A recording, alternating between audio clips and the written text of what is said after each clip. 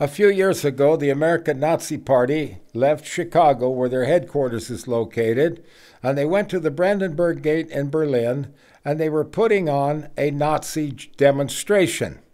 And while they were doing their demonstration, and this appeared in the Tucson, Arizona newspaper, there was an earthquake for the first time in 400 years. Now remember, we honor the four directions. It was the first earthquake in 400 years. It measured four on the Richter scale.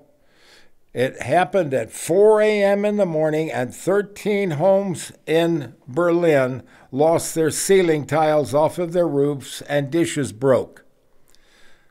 And so while they were gone doing their Nazi demonstration, the river broke through the wall in downtown Chicago and flooded all the buildings in downtown Chicago. And you could look that one up because the mayor of Chicago was really mad. So here the Nazi party left an earthquake and came back to a flooded city.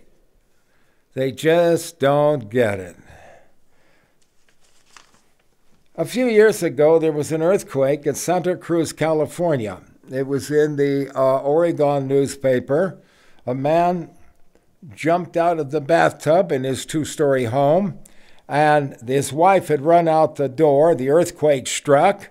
The man ran down the stairs. The only thing he could think of to save was the big grandfather clock. And so he's standing out on the front lawn of his home holding this big grandfather clock, and his wife is laughing at him.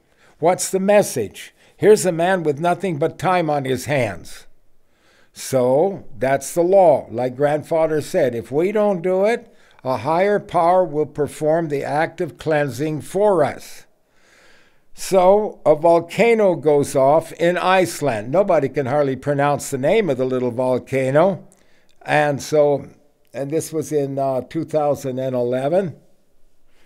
And the little volcano goes off, and all the airplanes all over Europe were grounded because they can't fly through volcanic ash. So here's all these Europeans and all the people who run the the trilaterals and the and the Bilderbergers and uh, all those other people who control the money. Here's all these men sitting on airport benches with nothing but time on their hands. And that's the law. Now, so look at Iceland. As the poles, the ice is melting. Another word for pole ice is police. A police car is black and white. So here you have in Iceland a black volcano dumping black lava onto white ice. And what do the cops say before they shoot their gun? Freeze or I'll fire. That's the law.